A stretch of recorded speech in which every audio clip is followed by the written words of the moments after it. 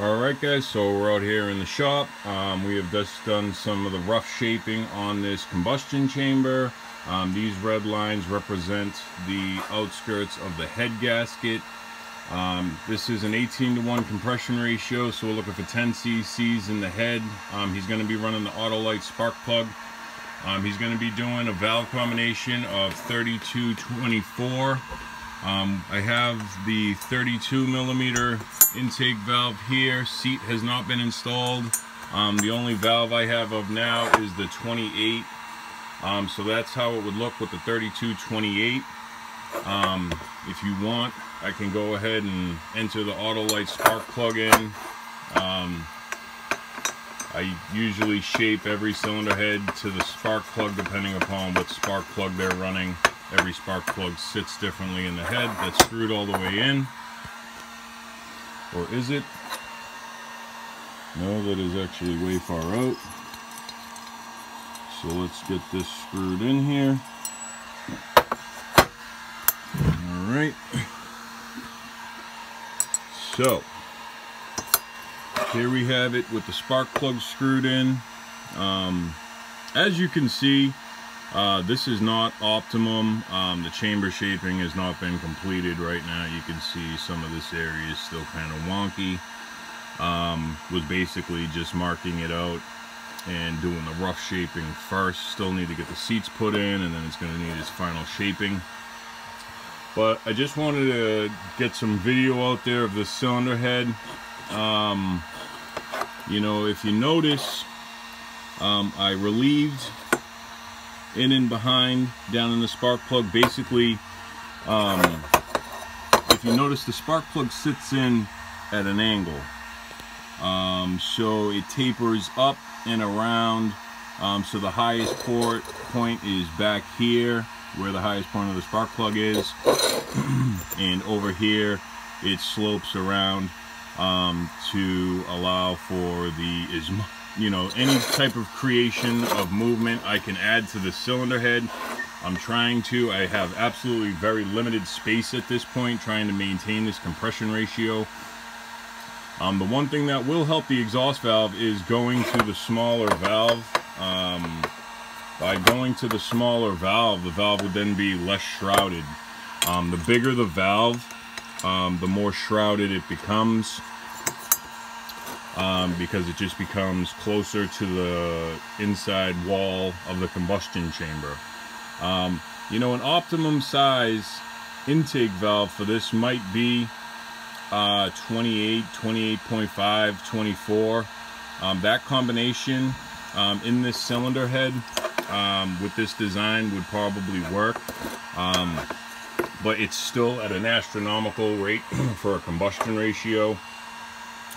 Um, so, if in fact I was building this cylinder head and wanted it to remain uh, somewhat normal, um, I would want to remove material, drop the compression ratio back down.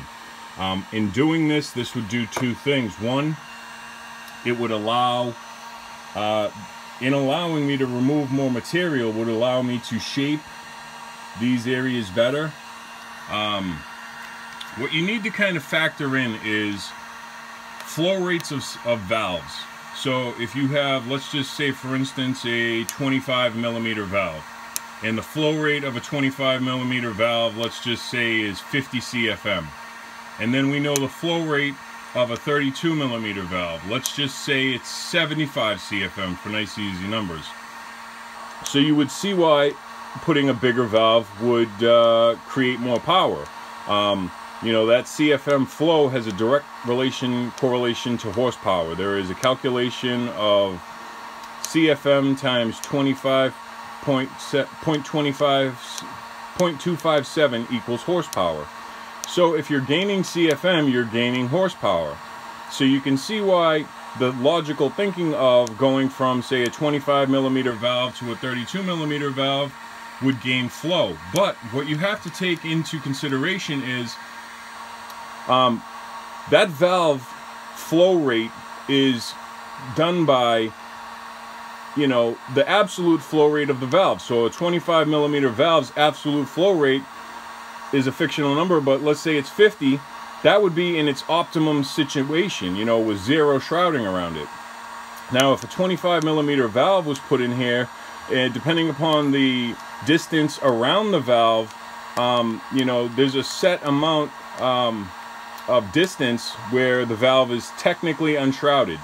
Um, this thin sliver of space in here uh, is definitely a shrouded valve. And no matter, you know, that's sitting down, and that's probably let's call that 275 lift so at 275 lift that's just breaking the surface of the head so that's probably 250 inch that looks like a quarter inch of space under there at 250 lift from 0 to 250 lift that valve has zero flow rate from here to about here.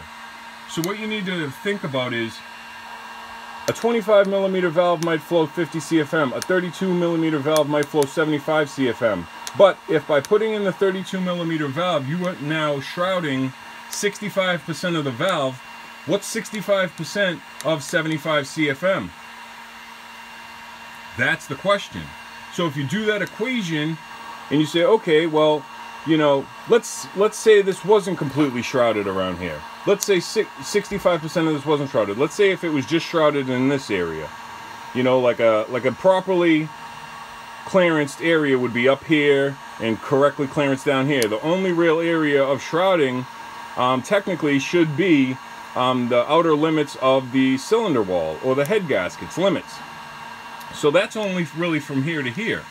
So now if this was all properly clearanced and you went from a 25 to 32 and you only have now say 18% of the valve uh, shrouded, you know 18% so you have 75 CFM minus 18%, you might pick up from 50 to with the 25 millimeter to maybe you know 60 CFM. So you would still see a gain in performance, but here's the thing a bigger valve needs more spring rate.